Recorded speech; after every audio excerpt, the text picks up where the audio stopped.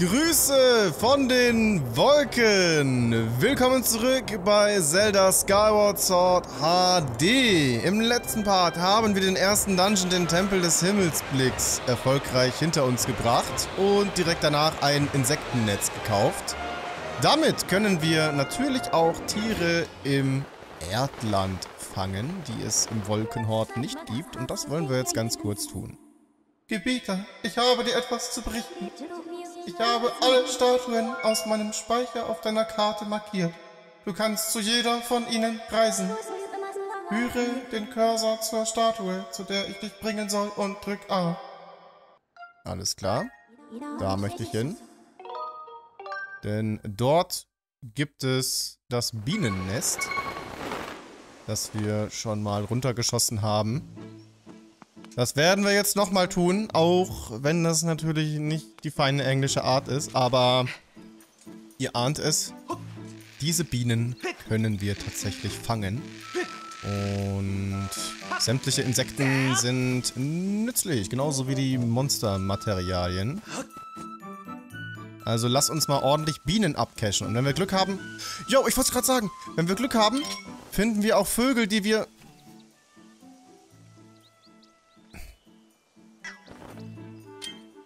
ebenfalls fangen können. Aber der Dulli hier stört. Nein! Oh, jetzt sind sie weg! Nur wegen deiner nutzlosen Existenz. Verflixt. Naja, aber kommt schon, Leute. Ich konnte es ja gar nicht anders machen. Oh, Best Case. Wir haben sogar noch ein paar Käfer. Oh, mal hoffen, dass die da bleiben. Während ich ja, mich von den Bienen stechen lasse. du hast eine Deku-Biene gefangen. Erhitzt man ihr Gift, erhält man eine wirksame Medizin. Halte dich von großen Schwärmen fern. Äh, das hat ja jetzt nicht ganz so gut geklappt.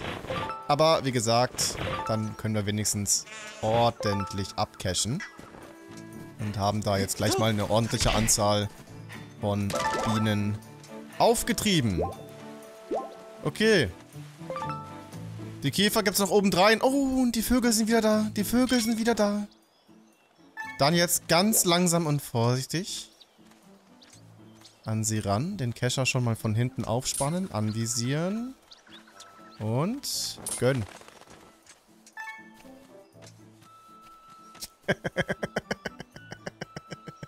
okay, versuchen wir es nochmal. Ich tu dir nichts. Alles gut. Hallo.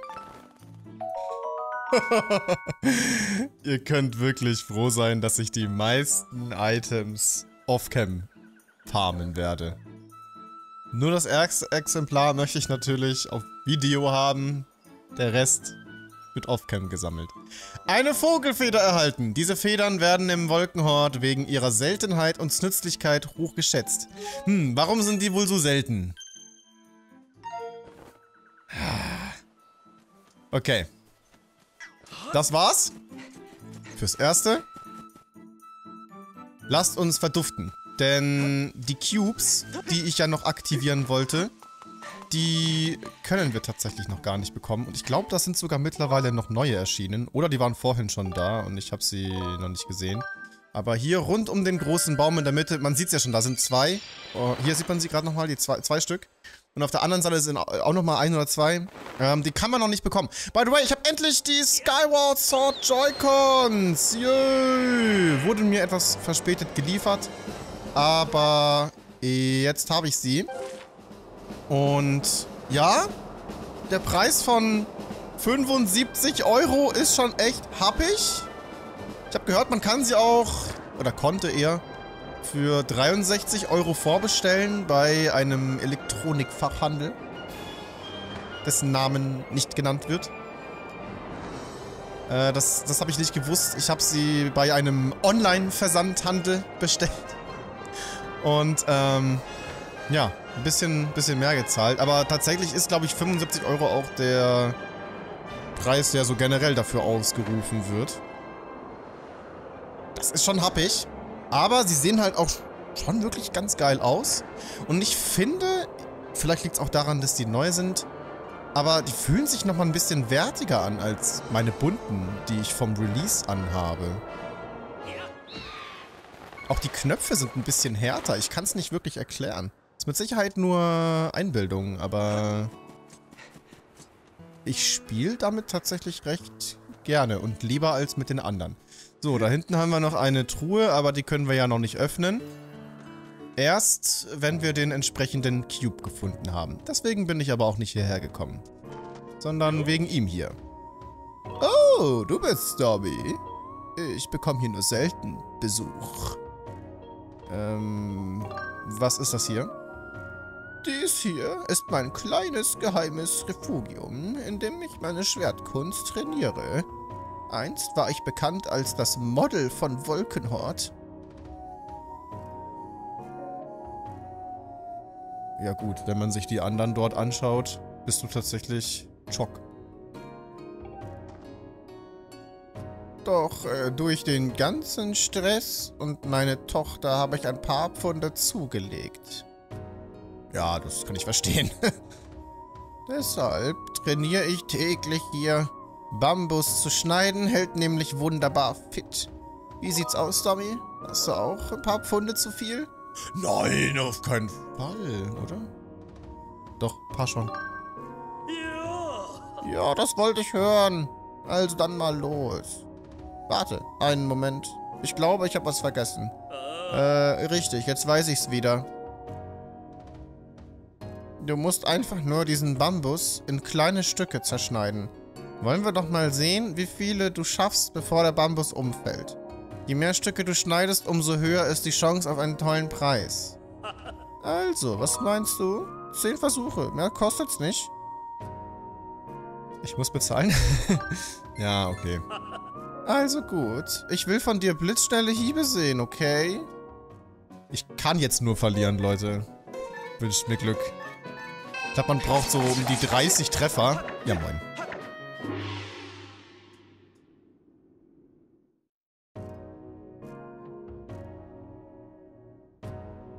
Sachte, mein Junge. Du kannst wieder durchatmen. Du hast den Bambus sechsmal geteilt. An deiner Schwertechnik musst du noch arbeiten. Versuch mindestens 15 Stück erfolgreich zu schlagen. Folge meinem Rat und konzentriere dich, sonst wird das nichts. Äh, was ist denn das für ein kurzes Schwert? Kaum zu glauben, dass du dich damit so wacker geschlagen hast. Ein echter Bambusfäller sollte jedoch schon etwas längeres haben. Glaub mir, damit macht die Sache noch viel mehr Spaß. Komm einfach wieder vorbei, wenn du ein längeres Schwert hast, ja? Falls du Lust hast, Bambus zu kürzen, schau jederzeit bei mir vorbei. Hä, was quatscht denn der da? Also, man kann das auf jeden Fall jetzt schon schaffen. Und wir werden es auch nochmal probieren. Der Rekord von 6 ist ja lächerlich. Ja, man muss es halt schaffen, dass das Ding wirklich nicht so weit wegfliegt. Ach, komm schon. WTF?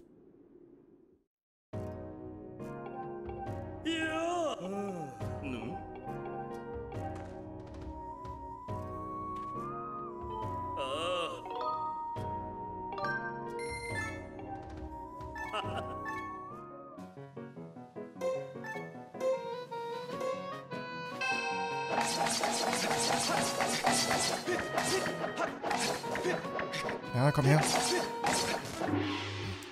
Dritter Versuch. Immerhin 16 Punkte. Ja, sachte, sachte. Aber immerhin. Du hast deinen eigenen Rekord geschlagen. Glückwunsch. Nicht übel. Ich gebe dir einen Trostpreis. Hier, 30 Rubine. Versuch beim nächsten Mal mindestens 20 zu schlagen, okay? Oh Mann. Denk dran, du brauchst ein längeres Schwert. Schnauze, ich will das jetzt schon schaffen. Zumindest die 20. Das lasse ich mir nicht bieten hier.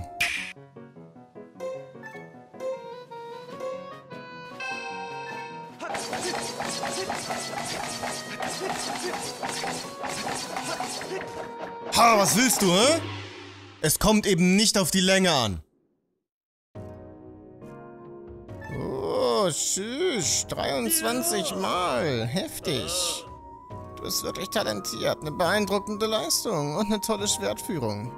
Hier, das hast du dir richtig verdient. Ui, ein Monsterhorn.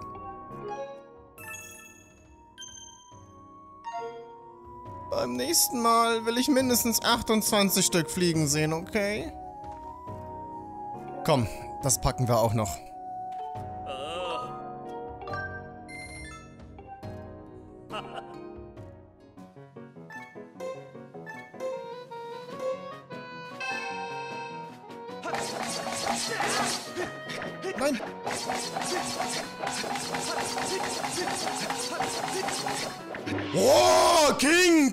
Danach! Hier, ich brauch schwarzen Gurt und goldenes Schwert. Äh, krieg dich ein, Bruder. Aber ja, 28 Schläge, nicht schlecht.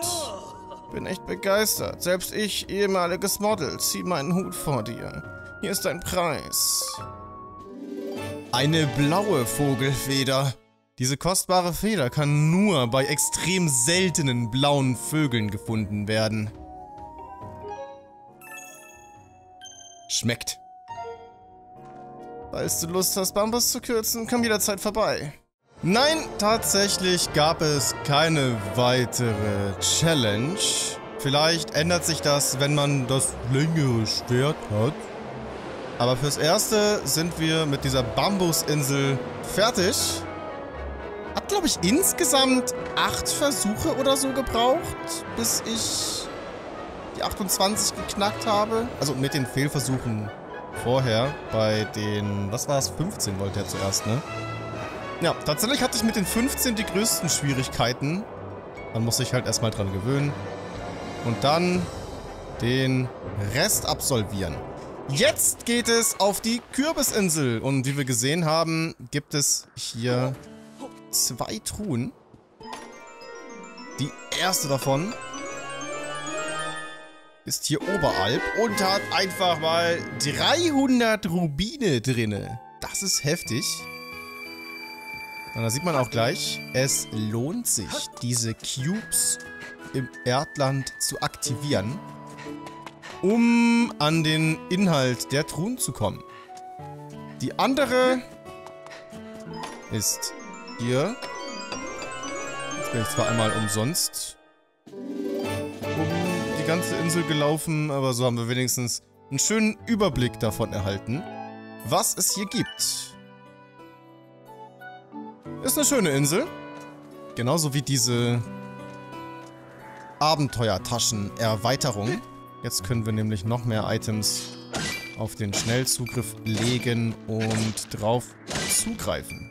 Geilomat. Warum man allerdings in den Kürbissen Rubine oder Herzen finden kann, das kann ich euch nicht erklären. Keine Ahnung. Was haben wir denn hier? Ein Lager. Ja, sieht so aus. Kommen da die Reifenkürbisse hin? Die dann verkauft werden sollen? Kenne mich nicht so aus. Na, wie dem auch sei. Das hier ist die Kürbisbar. Hier können wir in stylischen Kürbisbetten übernachten oder dem Geschwätz der Gäste lauschen, was nützlich ist, um wichtige Informationen bezüglich Sidequests oder auch dem Hauptgeschehen zu erhalten. Wann immer man nicht weiterkommt, ist die Kürbisbar der erste Ort, den man aufsuchen sollte. Und auch dieses Herzteil auf dem Kronleuchter Wurde uns natürlich nicht ohne Grund so vor die Nase gehalten. Ich glaube, da können wir jetzt schon ran. Du glaubst mir doch, oder? Was denn? Ich sag dir, im Wolkenhort lebt ein fürchterlicher Dämon. Um ein Haar hätte mich das Biest lebendig verspeist. Du magst vielleicht ein Ritter sein, aber dieser Dämon wird selbst dich zum Frühstück verputzen. Was laberst du? Aber weißt du was? Ja. Du hast sicherlich recht. Mit deinen fünf Bier, die du getrunken hast. Sian, Sian, du bist ein echt netter Bengel. Ja, nicht wahr? Lol. Hi. Hallo, du. Du siehst wie ein Ritter aus dem Wolkenhort aus. Hab ich recht? Nimm doch Platz und entspann dich ein wenig. Oh, dir sind die Rubine an unserem Kronleuchter aufgefallen? Versuch bloß nicht, die Rubine von dort oben herunterzubekommen. Manche Leute behaupten, man könne den Kronleuchter zum Schwingen bringen, indem man etwas anrempelt und die Rubine würden fallen. Aber wie dem auch sei, denkt nicht mal dran. Ja, ich würde mal sagen, das war ein recht eindeutiger Hinweis. Hey, hör mal kurz zu. Der alte Knabe dort drüben behauptet, einen Dämon gesehen zu haben. Na, mit solchen Prahlereien wird er Kabotscha jedenfalls nicht für sich gewinnen können. Ja, schon ein bisschen crazy, was der Typ labert. Aber was, wenn da was dran ist?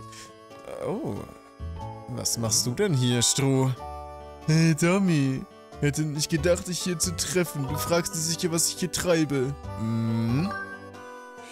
Bestimmt habe ich schon mal erwähnt.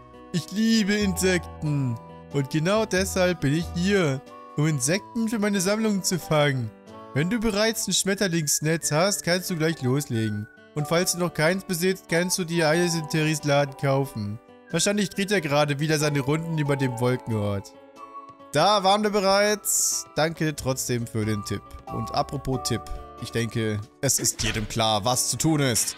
Hier gegen das Geländer rollen. Und schon bringen wir den Kronleuchter zu Fall. Was nicht nur Schaden anrichtet, sondern auch die Gäste wohl für immer vertreibt. Was glaubst du eigentlich, was du da oben treibst? Mach sofort, dass du runterkommst. Ähm, das war ein Versehen. Ich bin gestolpert und lieber schnapp ich mir das Herzteil, als ich mir was breche. Oder? Und die Rubine, naja, ich sag mal so, man sollte sie nicht rumliegen lassen, ne? Es darf doch nicht wahr sein. Was hast du getan? Mein handgefertigter Kronleuchter ist komplett ruiniert. Handgefertigt? Wow. Du wirst so lange für mich arbeiten, bis jeder einzelne Rubin, der in dem Kronleuchter steckt, abbezahlt ist. Einverstanden? Nein. Nein, äh, doch, natürlich. Es tut mir so leid. Nun, ich werde dich an dieses Versprechen erinnern. Also gut, wie wär's, wenn du als erstes dem Schwertmeister im Wolkenhort meine Suppe bringst? Er gehört zu unseren Stammgästen und meine Suppe gibt ihm Energie für den Unterricht. Also, willst du ihm die Suppe bringen? Ja, sicher doch. Du hast ja gar keine leere Flasche. Wenn du Suppe mitnehmen möchtest, brauchst du eine. Sieh zu, dass du eine leere Flasche besorgst. Oh, äh, Lul, das ist jetzt ein bisschen peinlich. Ich werde mal den Wundertrank verwenden. Um, äh, ja. Den Platz zu bekommen und mein Schild wieder zu heilen. Oh, da hast du ja endlich eine leere Flasche. Sehr schön. Hier hast du etwas heiße Kürbissuppe. Bring sie dem Schwertmeister, aber hurtig. Worauf wartest du doch? Tada! Heiße Kürbissuppe. Sehr gesund. Diese hausgemachte Kürbissuppe kühlt innerhalb von 5 Minuten ab. Ach, eine Sache noch, Kleiner. Der Schwertmeister kann kalte Suppe nicht ausstehen. Du solltest dich also mit deiner Lieferung etwas beeilen. Los, bring ihm die Suppe innerhalb der nächsten 5 Minuten, sonst ist sie kalt. Ui, ui. Das muss ein Druck sein, Essenslieferant zu sein. Weil du bist ja dann auch der Erste, der das ganze Feedback abbekommt, was natürlich nicht immer positiv ist. Ne, gerade wenn was auf der Bestellung fehlt oder es zu lange gedauert hat, sind die Lieferanten die Ersten, die das zu spüren bekommen. So, ich weiß, wir haben nur fünf Minuten, aber das sollte eigentlich locker machbar sein. Deshalb verbinde ich das mit einer weiteren Cube-Truhe, die, wenn ich mich nicht ganz täusche, neben den 300 Rubinen die wertvollste bisher sein wird. Wobei, wir haben ja eigentlich... Äh, aua. Immer äh, bis jetzt heftigen Stuff aus den Truhen bekommen. Aber hier drin befindet sich in der Tat ein Herzteil. Damit haben wir vier Stück und bekommen unser achtes Herz. Juhu! Yay, schon sehr früh im Spiel kann man die ersten vier Herzteile bekommen. Das haben wir geschafft. Und jetzt, glaube ich, habe ich auch alle Truhen, die wir per Cubes jetzt schon bekommen können. Denn wie gesagt, alle anderen, die sich da im Wald von Firone befinden, sind, glaube ich, derzeit unerreichbar. Deshalb ignorieren wir die und kümmern uns jetzt um unseren Lieferantenjob. Am besten schon so weit fliegen, wie es nur geht. Dann sparen wir zusätzlich Zeit. Perfekt. Juhu!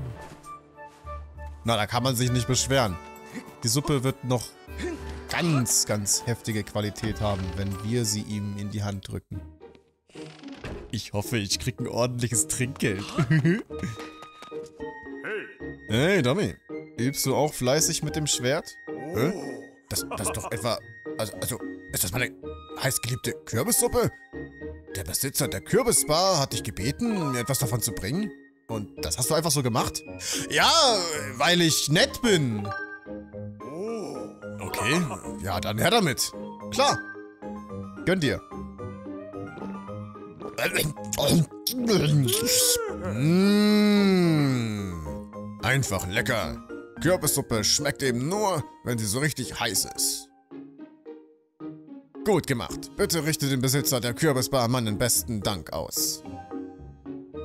Kein Problem, aber darf ich mal fragen, wie der es schafft, eine heiße Suppe zu saufen? Ich meine... Ah, das, das tut ja jetzt schon weh, wenn ich drüber nachdenke. Ich könnte das nicht. Naja, wie auch immer. Lass uns... Ach, hier kann ich gar nicht in den... Luftraum steigen? Okay. Das geht nur vom Erdland aus. Naja, nicht weiter schlimm. Ich wollte nur ein bisschen abkürzen. Aber dann eben nicht. Denn jetzt geht's zur Göttinnenstatue. Unser Erz einsetzen. Damit wir erfahren, wie es weitergeht.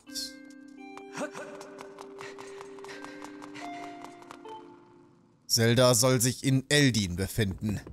Wo ist das?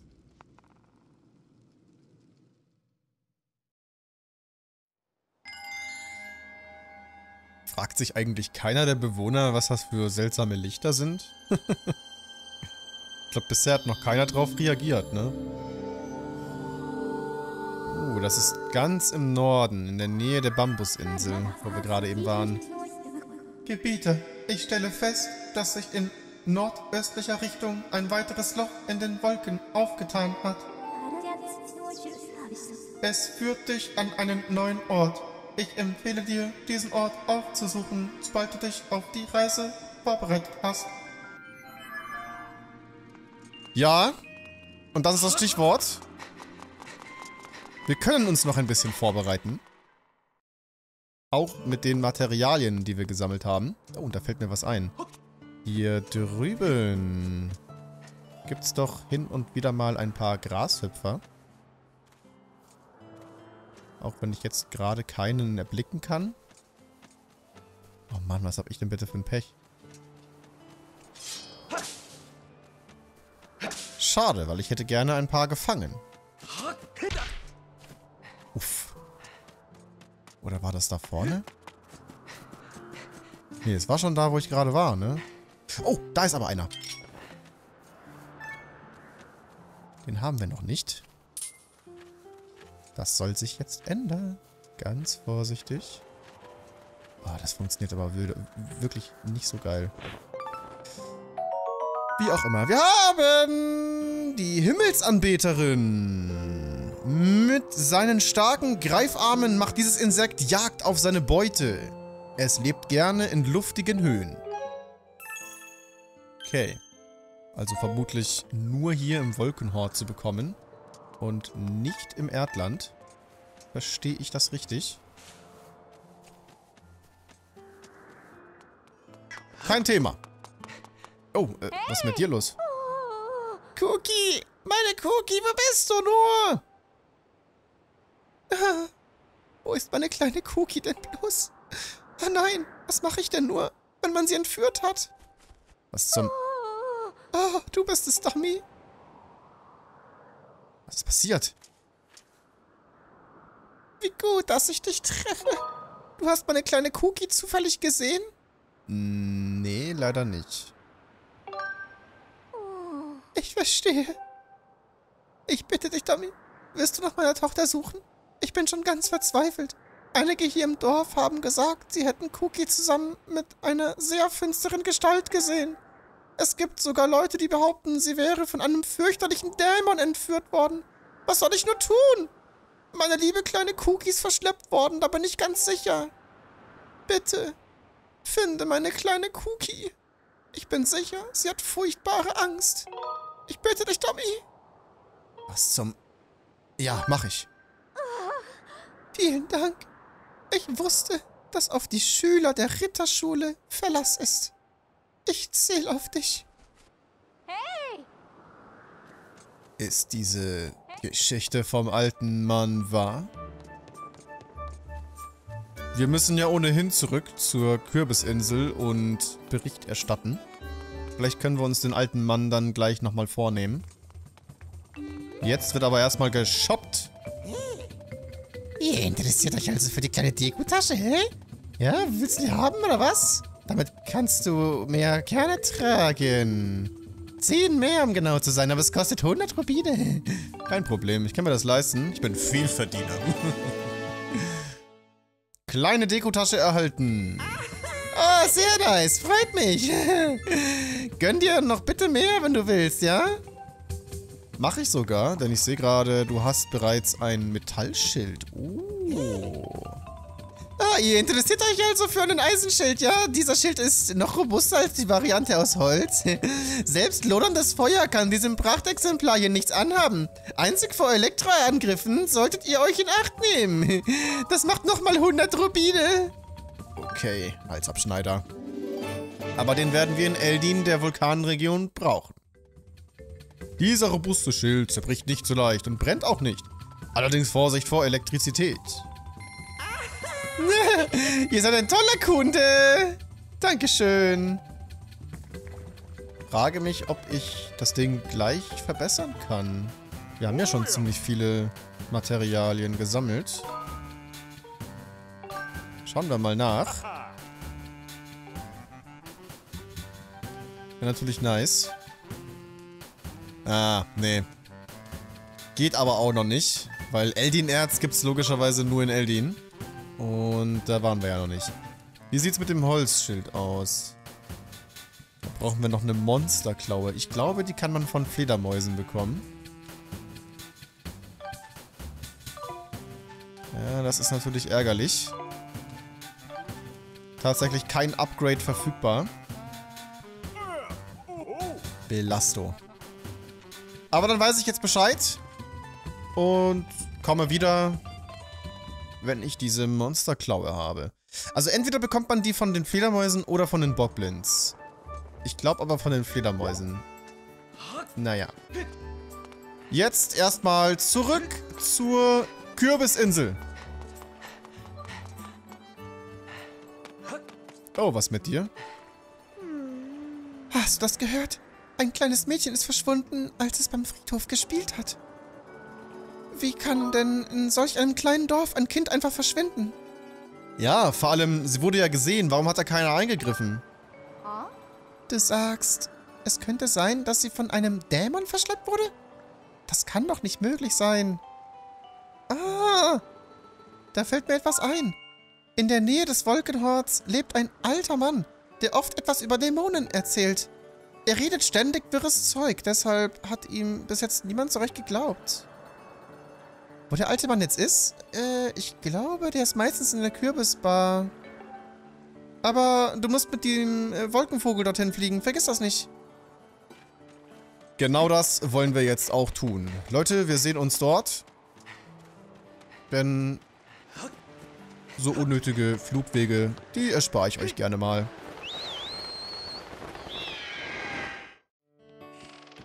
Da wären wir wieder. Erstmal den Auftrag mit der Kürbissuppe abschließen. Ausgezeichnet, du hast dem Schwertmeister die Suppe gebracht. Nun, dann lass mich das kurz mit deinen Schulden für den kaputten Kronleuchter verrechnen. Aber schuldenfrei bist du immer noch nicht. Ich finde schon noch eine neue Aufgabe für dich. Schau später wieder bei mir vorbei. Vielleicht ist mir ja bis dahin was eingefallen. okay. Und wenn ich jetzt nie wiederkomme, was macht er dann? Das Wolkenordmonster. Du glaubst mir doch, oder? Eigentlich ist es gar kein Monster, sondern ein Dämon. Und niemand überlebt die Begegnung mit ihm. Was? Du willst wissen, ob ich ihn schon mal gesehen habe? Ja. Äh, ich, ich habe ihn gesehen, ja. Und ich, ich kann auch nur davon berichten, weil ich die Beine in die Hand genommen habe und geflitzt bin. Jemand mit weniger Glück hätte mit Sicherheit ins Gras gebissen. Äh, wie dem auch sei, ich habe dieses Biest mit eigenen Augen gesehen und lass mir nichts anderes erzählen. Ich lief also gerade in der Nähe des großen Baumes auf dem Friedhof, mitten in der Nacht. Der Dämon schlug auf den Grabstein beim großen Baum, welcher sofort hell aufleuchtete. Dann schob er den Grabstein zur Seite und plötzlich öffnete sich die Tür zum Schuppen. Der Dämon ging hinein und schloss mit einer für eine Bestie sehr unüblichen Eleganz die Tür hinter sich. Ich werde diesen Anblick mein Lebtag nicht vergessen. Halt dich nachts vom Friedhof fern. WTF?